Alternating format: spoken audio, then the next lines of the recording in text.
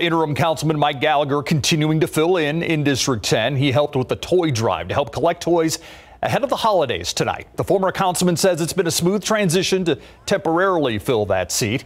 He also credited the support of the staff. When asked, Gallagher says he has also spoken with Councilman Clayton Perry. I had the opportunity to talk to him yesterday, and he was in a very good mood. Things uh, seem to be going very, very well, and let's all just hope and pray that it all comes out okay for him. Gallagher says he's encouraged Perry to return to District 10 and to the seat as soon as he's ready. Keep up to date with all of San Antonio's top news, weather, and so much more by clicking the like and subscribe buttons below. And once again, thanks for watching KSAT.